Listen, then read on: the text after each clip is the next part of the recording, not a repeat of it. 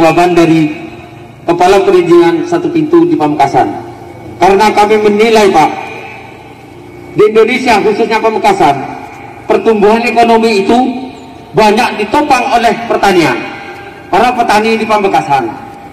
Tapi alangkah mirisnya Pak, di Pamekasan justru yang dibeli tanah oleh para pengusaha itu adalah lahan hijau yang sangat menentang dengan pertumbuhan ekonomi dan lumbung pangan di Pamekasan.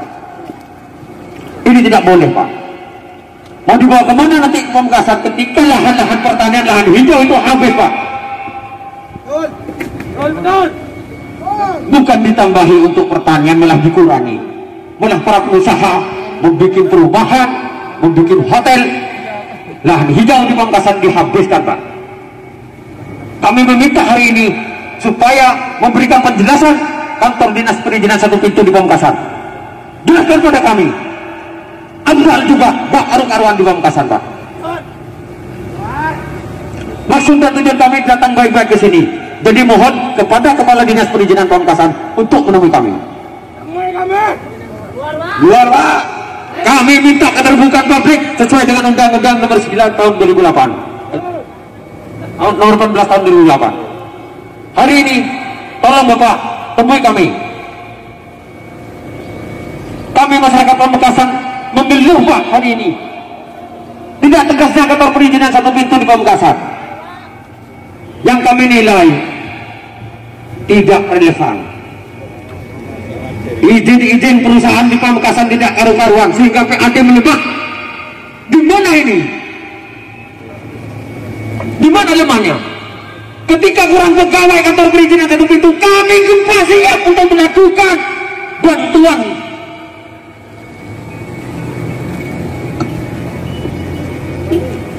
hidup masyarakat Pamekasan.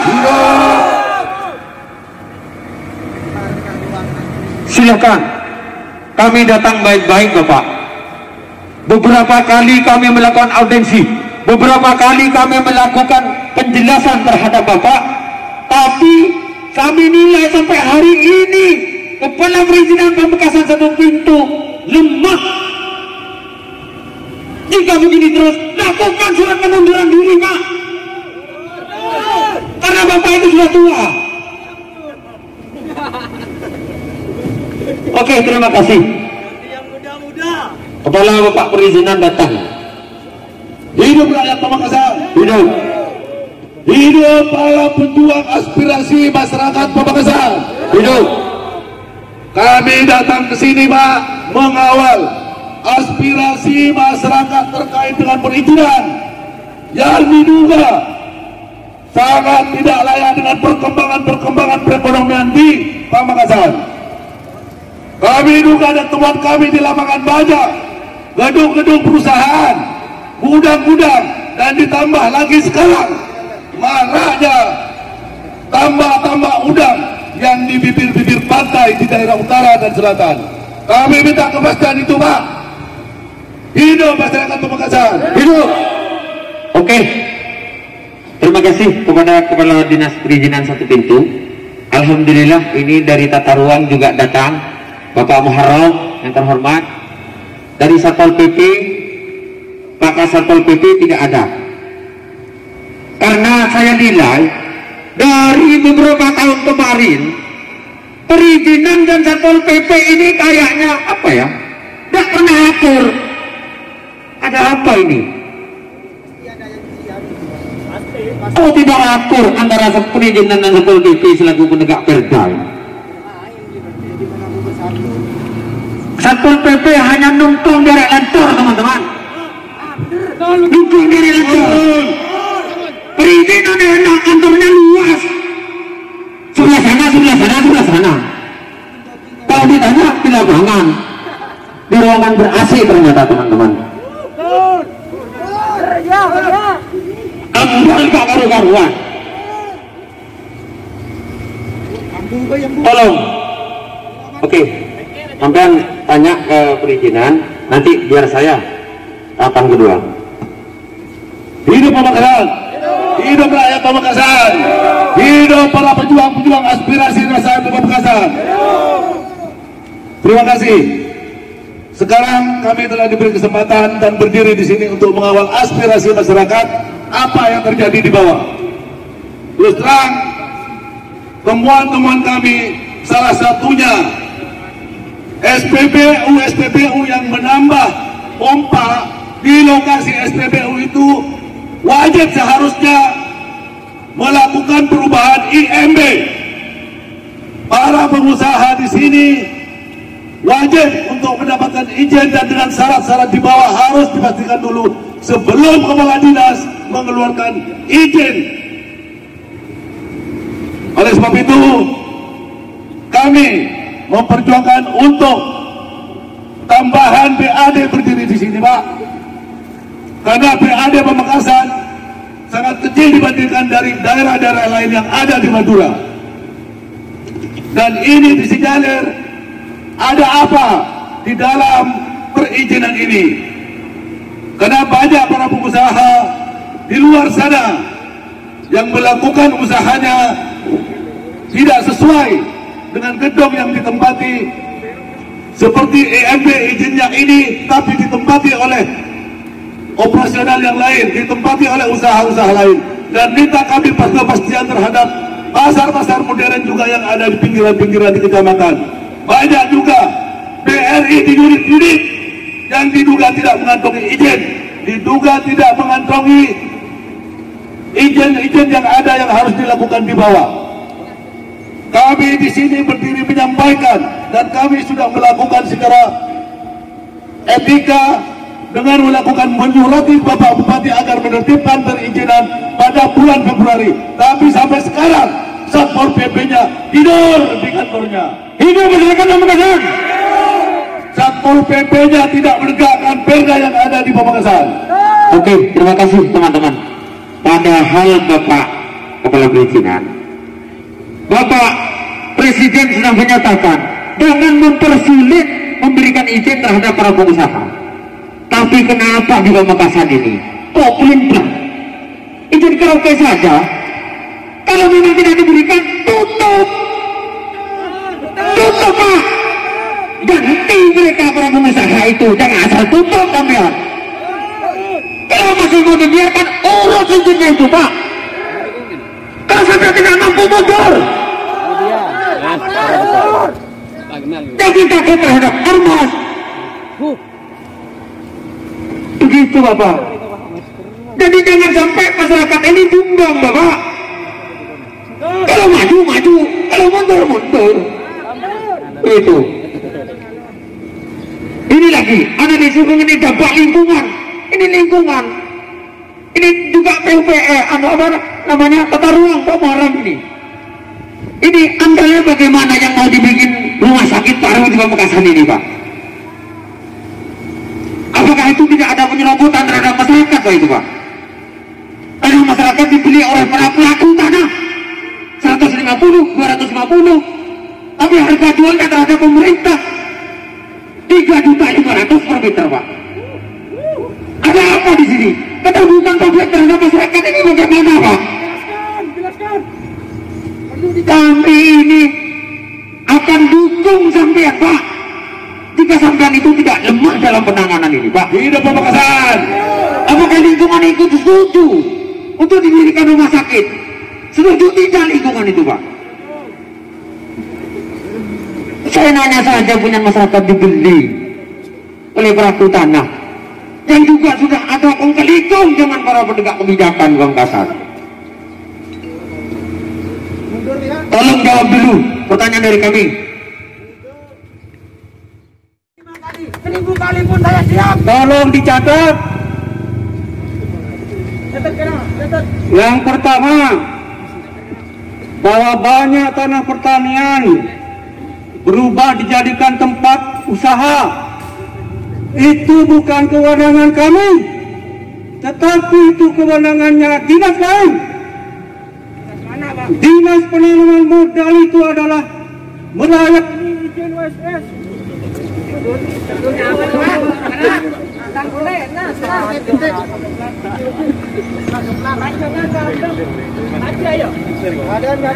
Jadi berdasarkan peraturan Menteri Dalam Negeri nomor 137 tahun 2018 menjelaskan bahwa tugas pokok kami adalah di bidang administrasi menerima berkas meneliti dan mengeluarkan izin. Di luar itu tidak tahu saya Oh tidak tahu. Kepala dinas perizinan tidak tahu teman-teman. Kan lucu. jadi tupoksi tupoksi kami hanya di bidang administrasi. Setelah izin keluar OSS kalau internetnya lancar 30 menit selesai maka bergeser ke meja lain OPD lain Pendeta terlalu panas Pak. Keser itu. Berani kok Pak, kita demi perjuangan Pak. Panas ini kita anak nggak boleh bung panas Pak. Itu di mungkin ya mungkin. Ini. Kalau ini saya tawarkan, Mas. Kalau, berkenan di sini ngomong apa yang ada. Ada perwakilan saja. Siap teman-teman. Setuju diminta masuk ke dalam ini. Perwakilan. Berapa masuk ya? Berapa orang Pak? Ini apakah diperbolehkan uang audensi ini harus satu pintu kalau audensi ke Bapak Bupati? Tidak diperbolehkan, katanya seperti itu Pak. Kami menerima SMS yang besok akan dilakukan audensi ke Dinsos dan ternyata di stop harus mengajukan kepada Bapak Bupati. Monggo, kalau memang ini diperbolehkan, besok harus digelar juga di Dinsos. Dibawa ke mana Pak Mekasan? ya, ya, ya. Kalau setuju Perwakilan satu dua orang balik ke dalam Bagaimana Bu Umar? Tak bisa. Tak bisa Mereka tahu. Oke. Jadi sekali lagi setelah izin OSS yang berapa jenis itu keluar dalam jangka 30 menit maka bergeser ke meja lain, dinas lain. Dinas lain itu apa Pak? Dinas mana? Jaring dulu tak ada ya. Jadi setelah itu bergeser ke dinas PUPR. Di situ ada ada surat informasi kesesuaian tata ruang. Apakah itu tanah pertanian? Apakah itu tanah untuk apa usaha dan lain sebagainya di situ jelas. Kalau daerah pertanian tidak boleh dikeluarkan izin usaha. Tapi kamu teriak-teriak, oh, banyak daerah pertanian yang dijadikan gedung ini, tidak boleh. Oh, tak boleh Pak, kami teriak Pak. Nah, katanya tadi itu daerah pertanian, tidak boleh itu. Setelah IKTR selesai, bergeser lagi ke Dinas Lingkungan Hidup untuk mendapatkan izin lingkungan. Setelah itu selesai bergeser lagi ke Dinas Perumahan dan Kawasan Pemukiman untuk pengurus IMB. Di situ prosesnya. Jadi kami ini hanya mengurus izin OSS. Tolong ini dipahami. Nah, kalau mau menang-menangan, tidak sih kalah, tidak sih menang. Jadi kami ini berdasarkan peraturan Menteri Dalam Negeri nomor 137 tahun 2018 pasal 9 tugasnya kami administrasi. Setelah OSS keluar, maka tanggung jawab dinas lain. Apa pertanyaan-pertanyaan yang diajukan tadi di luar kewenangan kami? Kalau kami menjawab, maka bisa salah karena bukan kewenangan kami. Terima kasih. Jadi kewenangan Bapak di mana, Pak? Saya paham Pak bahwa dinas perizinan itu hanya untuk administrasi. Tapi kami mohon harus selektif dan syarat-syarat harus di adakan dari bawah itu harus dan mohon kepada pemerintah Pamekasan sebelum terbitnya perizinan mohon untuk turun ke lokasi. Di mana lokasi untuk diizinkan itu? Karena saya mendapat temuan ada lahan hijau yang sudah mengantongi izin jadi kami minta peraturan-peraturan yang ditetapkan oleh undang-undang baik perda atau permen kami memohon kepada di sini ada Bapak Kepala Dinas PUPR, kami memohon dan akan tetap mengawal. Jangan sampai ada pelaku-pelaku usaha yang menerima izin serta menurut kami itu tidak layak diberi izin. Seperti yang ramai sekarang, kami mohon penjelasan juga adanya tambak-tambak yang akan dibangun ini sepertinya mepet dengan laut. Kami mohon ketentuan berapa meter dari laut. Dan apakah boleh dekat dengan sekolahan? Itu aja pak. Ini teman-teman kami sebagian. Dan untuk gedung-gedung yang ditempati bangunan-bangunan yang ditempati oleh para pelaku usaha IMB-nya harus sesuai dengan usahanya terima kasih Baik, terima kasih. Saya ini hadir dalam rangka membantu menjawab apa yang eh, bapak-bapak eh, ditanyakan tadi. Pak Agus tak mampu minta bantuan Pak Muharro. Bukan tidak mampu beliau, bukan tidak mampu beliau. Dan kebetulan dan kebetulan saya ada di sini, saya bantu untuk menjelaskan meskipun itu bukan kewenangan saya. Karena kewenangan ini terkait dengan IKTR adalah di Dinas PUPR. Kami ada di rumah Bapak. Akan tetapi baik, terima kasih. Nah, terkait dengan IKTR tentunya ada rambu-rambunya di sana adalah RT RW. Di RT RW itu sudah jelas Bapak mana tempat usaha, mana pertanian, mana tempat perikanan sudah jelas di situ. Tinggal ngeklik di mana.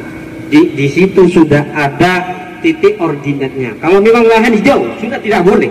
Kecuali lahan hijau, lahan hijau yang tidak boleh ya dipergunakan untuk apa pun adalah lahan hijau yang mempunyai irigasi teknis dalam artian sepanjang tahun dari musim hujan sampai kemarau itu airnya putus-putus itu namanya irigasi teknis gitu ya. jadi seperti itu barangkali eh, terkait dengan lahan hijau lahan hijau jadi nanti kalau ada lahan hijau yang digunakan untuk lahan usaha itu ada pertimbangan teknis tersendiri dari pertanahan. Dari pertahanan itu kan turun ke lapangan itu. Ini masih bisa dipergunakan untuk lahan usaha. Kalau tidak, ya tidak. Di situlah ada rekomendasi. Terkait dengan lingkungan, gitu ya, amdal itu bukan di tupoksi kami, ada dinas lain seperti lingkungan hidup, Bapak. Jadi kalau Pak Agus ditanya terkait dengan lingkungan hidup, jelas tidak bisa jawab. Kelero bukan kewenangannya. Justru dalam surat Pak sudah dijelaskan yang diundang ini lingkungan hidup Kasatpol PP sudah jelas dalam surat. Betul teman-teman. Mana Kasatpol PP lingkungan hidup mana Pak? Sebentar, sebentar. Ini biar kompak. sebentar. Pamekasan. Pak Agus barusan menyampaikan, kira-kira Pak Agus surat ini nyampe enggak? Ini Pak Agus barusan Surat saya nyampe tidak Pak? Ada tidak di situ? Yang wajib dihadirkan. Nah ini jawaban Pak Agus. Berarti tidak ada kekompakan di Nasib Pamekasan. Oh bukan kewenangan kami. Apakah kami harus demo satu-satu Pak? Ke sini, ke sana, ke sana. Kapan jawabannya Pak? Berarti Pak Agus itu sudah tidak sanggup. Sudah Pak. Ini kami sudah menghubungi saudara Abdus Salam ini kemarin bahwa kewenangan untuk mengundang karena ini sifatnya demo kewenangan Tidak pernah menghubungi Pak Agus ke saya. silahkan Pak Hafi tanyakan ke Pak Hafi jadi Pak Hafi sudah menghubungi Pak Abdus Salam untuk Tidak menghubungi Pak. Tidak pernah menghubungi. Disperindak tolong Hafi itu kewenangannya teman-teman Jangan ke mana-mana. Pak. Dia bilang itu. begitu. Jadi kami sudah koordinasi dengan Pak Abdul Salam. Terima kasih. Muharram kan juga bingung. Oh yang harus diundang Pak sampean itu Kasatpol PP, lingkungan hidup. Biar kita nyaman, biar kita nyambung. Tadi di mana letak kesalahan itu ketemu Pak. Dan Alhamdulillah dari tata ruang Pak Muharram datang untuk membantu Pak Agus yang tidak mampu memberikan penjelasan pada kita. kompak. Tidak begini, barangkali ya biar kita diskusinya enak, ada perwakilan dari Pak Mas mungkin Pak Haji Sinar atau teman-teman yang lain gitu ya bisa ikut diskusi. Apa kesimpulannya? Itu mari kita kerjakan. Siap, teman-teman yang mau orasi di luar silahkan.